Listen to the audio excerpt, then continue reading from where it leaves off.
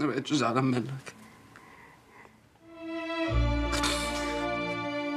بس كنت عايزك تستنى شوية بس.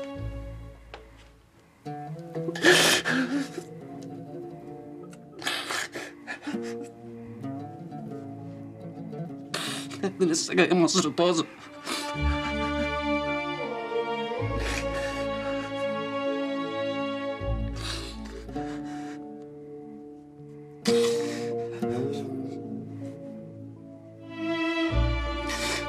ربنا يسامحك ربنا يسامحك يا ابويا